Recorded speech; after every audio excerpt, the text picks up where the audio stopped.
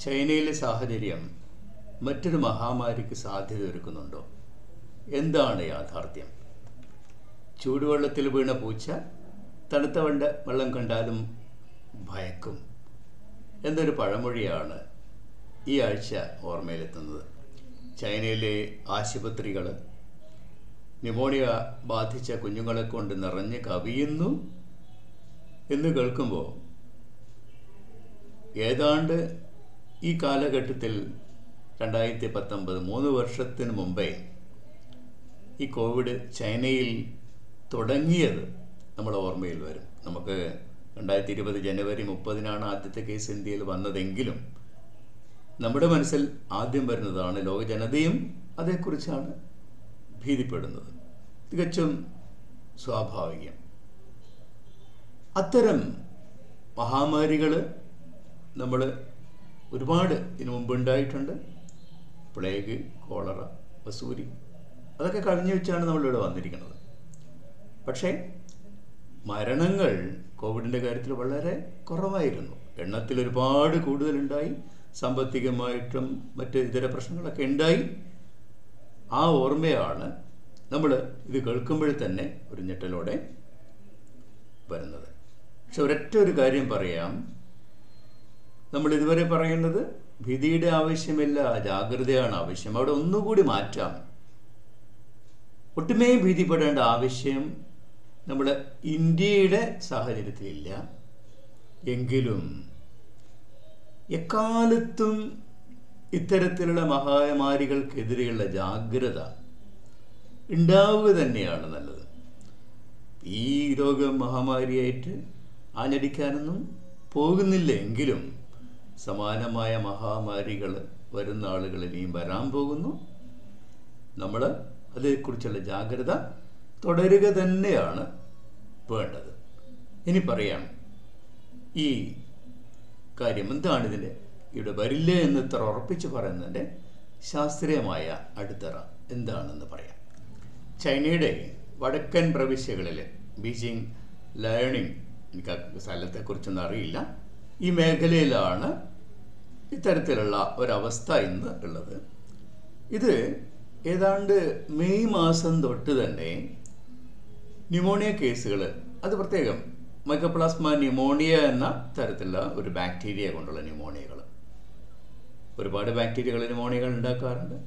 ഒരു school going age ഗ്രൂപ്പിൽ ഉണ്ടാവുന്ന ഒരു പ്രത്യേക ന്യൂമോണിയാണ് മൈക്കോപ്ലാസ്മ ന്യൂമോണിയ. ഈ ബാക്ടീരിയ ന്യൂമോണിയക്ക് നമ്മൾ വാക്കിംഗ് ന്യൂമോണിയ എന്ന് പറയുക കാരണം ഈ ന്യൂമോണിയ ബാധിച്ച കുട്ടികൾ കിടപ്പിലാവുകയല്ല. ചുമച്ചുകൊണ്ടിരിക്കുന്ന രാത്രി ചുമയായിട്ട് ഒരുപാട് ദിവസങ്ങളുണ്ടാവും. വലിയ പനി ഉണ്ടാവില്ല അതാണ് വാക്കിംഗ് ന്യൂമോണിയ എന്ന് പറയാൻ കാര്യം. അത്തരമുള്ള അവസ്ഥ എക്സ്റേ എടുത്ത് നോക്കിയാൽ ശരിയായിട്ട് ന്യൂമോണിയ ഉണ്ടാവും. പക്ഷേ ചികിത്സിക്കാൻ പറ്റും വളരെ എളുപ്പം. വലിയൊരു ബുദ്ധിമുട്ടില്ലാതെ നമുക്ക് ചികിത്സയുണ്ട്.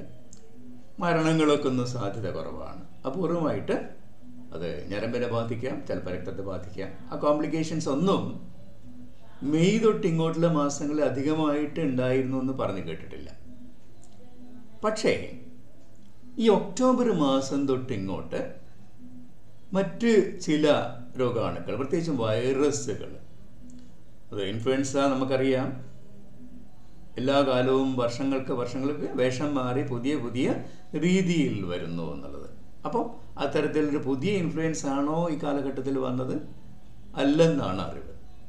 അതുപോലെ മറ്റു ചില വൈറസുകൾ respiratory syncytial virus rhino virus adeno virus ഇത്തരത്തിലുള്ള രോഗാണുക്കൾ. ഇതിലൊന്നും തന്നെ പുതിയ രോഗാണുക്കളില്ല. കേസുകൾ ഏറെ ആശുപത്രിയിൽ അഡ്മിഷനൊക്കെ ആയപ്പോൾ ലോകത്തെ ഇത്തരത്തിലുള്ള രോഗാണുബാധകളെക്കുറിച്ച് സർവേലൻസ് നിരീക്ഷണം നടത്തുന്ന ഏജൻസികളുണ്ട്. അത് ഇൻഫ്ലുവൻസയെക്കുറിച്ചും മറ്റ് പഠ മറ്റ് പാർശ്വവ്യാധികളെക്കുറിച്ചൊക്കെ. പ്രത്യേകിച്ചും രണ്ടായിരത്തി പത്തൊമ്പതിൽ കോവിഡ് ആണ് എന്ന് എടുത്തു പറഞ്ഞിട്ടുള്ള ഒരു നിരീക്ഷകരാണ് ഇതേക്കുറിച്ച് ആദ്യത്തെ വാണിങ് തന്നത്. അപ്പം അതുകൊണ്ട് തന്നെ വളരെ ഗൗരവത്തോടു കൂടി ലോകാരോഗ്യ സംഘടന ഇടപെട്ടു. ഈ പതിമൂന്നാം തീയതി നവംബർ പതിമൂന്നാം തീയതി ഈ ചൈനയിലെ ആരോഗ്യ വിദഗ്ധരും ആരോഗ്യ സംവിധാനവും ഇതുവരെയുള്ള എല്ലാ കണക്കുകളും കാര്യങ്ങളും ലോകാരോഗ്യ സംഘടനയ്ക്ക് കൈമാറി ലോകാരോഗ്യ സംഘടനയും ഇതേക്കുറിച്ചുള്ള ഇത് സ്റ്റേറ്റ്മെന്റ് ഇറക്കി കഴിഞ്ഞു. പുതിയൊരു രോഗമാണ് ഇതുവരെ ഉണ്ടായിട്ടില്ല. ഇവിടെ ഉണ്ടായിക്കൊണ്ടിരിക്കുന്ന അസുഖങ്ങൾ ഉണ്ടാക്കുന്ന രോഗാണുക്കൾ മാത്രമേ അവിടെ ഉണ്ടായുള്ളൂ. അവിടെ കുറച്ചേറെ കേസുകൾ വന്നു. വലുതായിട്ടുള്ള തീവ്രതയുണ്ടായിട്ടുള്ള മരണങ്ങളും ഉണ്ടായിട്ടില്ല. ഭീതിയുടെ ആവശ്യമില്ലെങ്കിലും ലോകം മുഴുവനും ഇതേക്കുറിച്ച് നിരീക്ഷിച്ചു കൊണ്ടിരിക്കുകയാണ്. അതാണ് സാഹചര്യം. ഇനി പറയാം എന്തുകൊണ്ട് ഇന്ത്യ ഇന്ത്യൻ ജനത ഇതേക്കുറിച്ച് ഭീതിയുടെ ആവശ്യമില്ലെന്ന്? നോക്കൂ ഏതെങ്കിലും ഒരു പാർശ്വവ്യാധി ഏതെങ്കിലും ഒരു രാജ്യത്ത് പടർന്നു പിടിക്കാനുള്ള സാധ്യതയുണ്ടോ എന്ന് പറയുമ്പോൾ നമ്മൾ കണക്കിലെടുക്കേണ്ട മൂന്ന് കാര്യങ്ങളാണ്. ഒന്ന് ആ രോഗാണുവിന്റെ പ്രത്യേകതകൾ.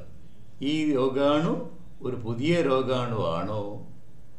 അതോ പഴയൊരു രോഗാണുവിന് ശക്തി കൂടുതൽ പ്രാപിച്ചു വന്നതാണോ? ഈ രണ്ട് കാര്യങ്ങളാണ് ഈ രോഗാണുവിനെ കുറിച്ച് കാര്യം. രണ്ടാമത്തെ കാര്യം അവിടെയുള്ള ജനത ഇതിനെതിരെ പ്രതിരോധമില്ലാത്തവരാണോ?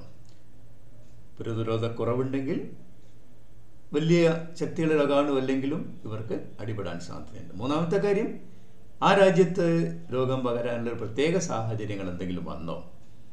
അത് പ്രത്യേകം കാലാവസ്ഥയിലെ മാറ്റങ്ങളായിരിക്കാം.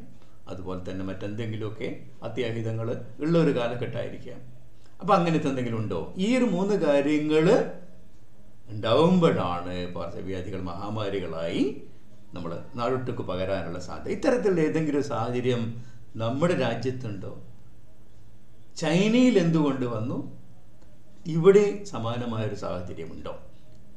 അതാണ് നമ്മൾ അന്വേഷിക്കുന്നത്. അപ്പോൾ ഈ പറഞ്ഞ കാര്യങ്ങൾ ചൈനയിൽ എന്തുകൊണ്ട് വന്നു? ആദ്യമേ തന്നെ പറഞ്ഞു ഈ രോഗാണുക്കളിൽ എല്ലാം നേരത്തെ അറിയുന്ന രോഗാണുക്കൾ മാത്രമാണ്. ആ ഒരു മിക്ക രോഗാണുക്കളും ഈ കോവിഡ് വന്നു കഴിഞ്ഞ് മാറിപ്പോയ പല രാജ്യങ്ങളിലും ഒരുപാട് കേസുകൾ ഉണ്ടായിട്ടുണ്ട്. ഇന്ത്യയിൽ കേരളത്തിൽ രണ്ടായിരത്തി ഇരുപത്തിരണ്ടിൽ നമ്മൾ ഓരോരുത്തരും മനസ്സിലുണ്ടാവും.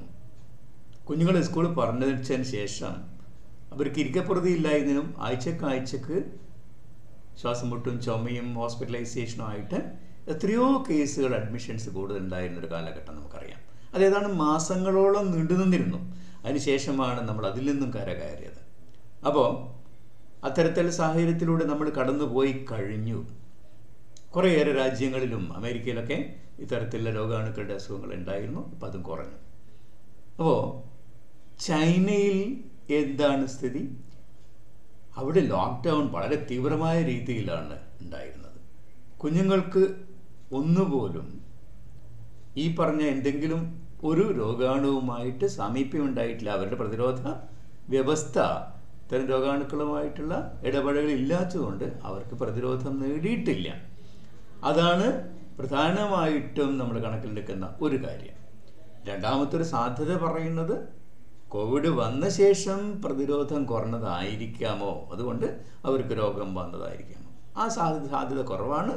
മിക്കപ്പോഴും ആദ്യം കണക്കിലെടുക്കുന്നത് കുഞ്ഞുങ്ങൾക്ക് ലോക്ക്ഡൗൺ കഴിഞ്ഞതിന് ശേഷം പെട്ടെന്ന് തുറന്നു വിട്ടതുപോലെ ഈ സമൂഹത്തിലേക്ക് ഇടപഴകിയും സ്കൂളൊക്കെ പോകുമ്പോൾ ഇതുവരെ ഇല്ലാത്ത വിധം ഈ രോഗാണുക്കൾക്ക് ബാധയുണ്ടാവുന്ന ഒരു സാഹചര്യമാണ് അവിടെയുള്ളത്. മൂന്നാമതൊരു കാര്യം എൻവയൺമെന്റ് ചുറ്റുപാട് ഈ സാഹചര്യത്തിൽ തണുത്ത സാഹചര്യം വിന്റർ സീസൺ ഇവിടെയും അങ്ങനെ തന്നെയായിരുന്നു. ഇത്തരത്തിലുള്ള അസുഖങ്ങൾ മുഴുവനും ഈ മഴയും തണുപ്പുള്ള കാലഘട്ടത്തിലായിരുന്നു ഏറ്റവും കൂടുതൽ ഉണ്ടായിരുന്നത് ഇപ്പോൾ പറഞ്ഞു വന്നത് ഇത്തരത്തിലുള്ള രോഗാണുക്കളിൽ ആദ്യം പറഞ്ഞ മൈക്കോപ്ലാസ്മ ന്യൂമോണിയ ഈ പറഞ്ഞ ഇൻഫ്ലുവൻസ റെസ്പിറേറ്ററി സെൻസിറ്റീവ് വൈറസ് എന്ന് പറഞ്ഞാൽ വാങ്കളൈറ്റിസ് എന്ന് പറയുന്ന കാര്യം അഡിനോ വൈറസ് ഇത്തരത്തിലുള്ള വൈറസുകളൊക്കെയും നമുക്കിവിടെ ഈ രണ്ടായിരത്തി ഇരുപത്തിരണ്ടിൽ കുറേയേറെ കേസുകൾ ഉണ്ടായി കഴിഞ്ഞിരിക്കുന്നു. ഇപ്പോൾ ആ കേസുകളൊക്കെ കുറഞ്ഞു.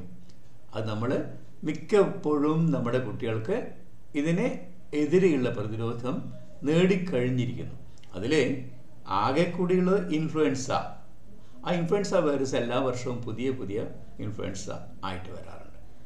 ഇതുവരെയും ലോകാരോഗ്യ സംഘടനയ്ക്ക് കൈമാറിയിരിക്കുന്ന കണക്കനുസരിച്ചിട്ട് ഇത്തരത്തിലുള്ളൊരു പുതിയ ഇൻഫ്ലുവൻസ ഇല്ല. അപ്പോൾ പലപ്പോഴും സംശയിക്കും ചൈന കൊടുത്ത ഡാറ്റയല്ലേ? വിശ്വസിക്കാമോ? അവർ പറയുന്ന കാര്യങ്ങളൊക്കെ ശാസ്ത്രീയമായിട്ട് അങ്ങനെയല്ല. ചൈന ഇത്തരത്തിലുള്ള കാര്യങ്ങളൊക്കെ വളരെ അഡ്വാൻസ്ഡ് ആണ്. രണ്ടായിരത്തി ഇരുപതിൽ ഏതാനും ദിവസങ്ങൾ കൊണ്ട് തന്നെ അവർക്ക് ഇതിന്റെ ജനറ്റിക് ഒരു കംപ്ലീറ്റ് ആ കോവിഡിന്റെ ജനിതക ഘടന മുഴുവനായിട്ടും അവർക്ക് അറിഞ്ഞു. അത് ലോകാരോഗ്യ സംഘടനയ്ക്ക് കൊടുത്തവരാണ്. അതുപയോഗിച്ചാണ് വാക്സിനുകൾ കണ്ടുപിടിച്ചിരിക്കുന്നത്. അപ്പോൾ അവരെ കുറച്ച് കാണരുത്. ശാസ്ത്രീയമായിട്ട് മെഡിക്കൽ ഇതിൽ അവർ വളരെ മുമ്പിൽ തന്നെയാണ്. അപ്പോൾ ഇതുവരെയുള്ള അറിവനുസരിച്ചിട്ട് പുതിയ ഒരു രോഗാണുവും അവിടെ ഉണ്ടായിട്ടില്ല. അപ്പോൾ അവിടെ രോഗം വന്നിരിക്കുന്നത് ആ ഒരു അവരുടേത് മാത്രമായിട്ടുള്ള ഒരു സാഹചര്യത്തിലാണ്. ഇന്ത്യയിൽ ഒരിടത്തും അത്തരം ഒരു സാഹചര്യം നിലനിൽക്കുന്നില്ല. അപ്പോൾ പിന്നെ ചോദിക്കുന്നു എന്തുകൊണ്ടാണ് അവിടെ ഇത്രയേറെ അഡ്മിഷൻസ് ഉണ്ടായത്? അവിടെ നോക്കൂ ഇത്തരത്തിലുള്ളൊരു പുതിയ രോഗാണുവായിരുന്നെങ്കിൽ അവിടെ ആദ്യം ഉണ്ടാവുമായിരുന്നത് പ്രായമുള്ളവർക്കായിരുന്നു. കാരണം പ്രായമുള്ളവർക്കാണല്ലോ നമ്മൾ ഇറ്റലിയിലായിക്കോട്ടെ ഭരണങ്ങൾ കൂടുതലുണ്ടായത്. അപ്പം ഏതെങ്കിലും ഒരു പുതിയ രോഗാണുവാണെങ്കിൽ ഒരിക്കലും അഡൾട്ട്സ് ഒഴിവാക്കപ്പെടില്ല. കുഞ്ഞുങ്ങൾക്ക് മാത്രമാണ് ഇവിടെ വന്നിരിക്കുന്നത്. കുഞ്ഞുങ്ങൾക്ക് മാത്രമായതും തീവ്രത കൂടിയ ഐ സി യു അഡ്മിഷൻസ് ഉള്ള വെന്റിലേറ്ററുള്ള കേസുകളൊന്നും ഇല്ല. നമ്പർ ഓഫ് അഡ്മിഷൻസ് കൂടുതലുണ്ടായി ഹോസ്പിറ്റലിൽ ബെഡ് ഓക്കുപ്പൻസി ഉണ്ടായി. അതുപോലെ തന്നെ ഡെത്തുകൾ വളരെ വളരെ കുറവായിരുന്നു. അപ്പോൾ അതിലൊരു കാരണമായിട്ട് പറയുന്നത് നമ്മൾ ചിലർക്കുള്ള വിശ്വാസം പോലെ. ഞങ്ങൾക്ക് സൂചി വേണം ഞങ്ങൾക്ക് ആന്റിബയോട്ടിക് വേണം ഓക്സിജൻ വേണം എന്നൊക്കെ അങ്ങോട്ട് പറയുന്ന അപ്പം ചില പഠനങ്ങൾ കണ്ടു. അവരിൽ ചിലർ കൂടുതലും ഐ വി ഫ്രൂട്ട്സ് വേണം ഡിമാൻഡ് ചെയ്തിട്ട്. അത്തരത്തിലുള്ള അവിടെ മാത്രം പ്രസക്തമായിട്ടുള്ള ചില സാഹചര്യങ്ങളായിരിക്കാം അവിടെ ഇത്തരത്തിലുള്ള കേസുകൾ കൂടുതൽ സാധ്യത. അപ്പം ഒടുക്കം പറയാനുള്ള ഒന്നാണ് ഈ ഒരു സാഹചര്യത്തിൽ നമ്മൾ ഭീതിപ്പെടേണ്ട ഒരു കാര്യവുമില്ല എന്ന് തന്നെ. രണ്ടാമത്തെ കാര്യം ജാഗ്രത ആവശ്യമില്ലേ? തീർച്ചയായിട്ടും. ഈ ജാഗ്രത ഇതിനു വേണ്ടി മാത്രമല്ല തുടർന്നും വേണ്ടതുണ്ട്. കൈ കഴുകുക അകലം പാലിക്കുക ചുമക്കുമ്പോഴൊക്കെ നമ്മൾ മറ്റൊരാൾക്കൊക്കെ പകരാതിരിക്കാനുള്ള രീതിയിലായിരിക്കണം. അതുപോലെ തന്നെ നമ്മൾ ഷേക്ക് ഹാൻഡ് കൊടുക്കുന്നത് ഒഴിവാക്കേണ്ടതായിരിക്കും മാസ്ക് ഉപയോഗിക്കുന്നത് തീർച്ചയായിട്ടും നല്ലത് തന്നെയാണ്. ഓവർ ക്രൗഡഡ് എൻവയൺമെന്റ് പോകുന്നത്. ഓക്കെ കാരണം ഇന്നിപ്പം ഒരു പുതിയ കാര്യം നാളെ മറ്റൊരു വൈറസ് മറ്റൊരു പകർച്ചവ്യാധി ഇത്തരത്തിലൊരു വെല്ലുവിളി ഉയർത്തിക്കൊണ്ട് വന്നേക്കാം. നമ്മളെപ്പോഴും ആ ഒരു കാര്യത്തിന് ജാഗരൂകരായിരിക്കുക എന്നും ജാഗരൂകരായിരിക്കുക. അപ്പോൾ ഈ ഒരു പ്രത്യേക സാഹചര്യത്തിൽ മാത്രം ആയിട്ടല്ല. Thank you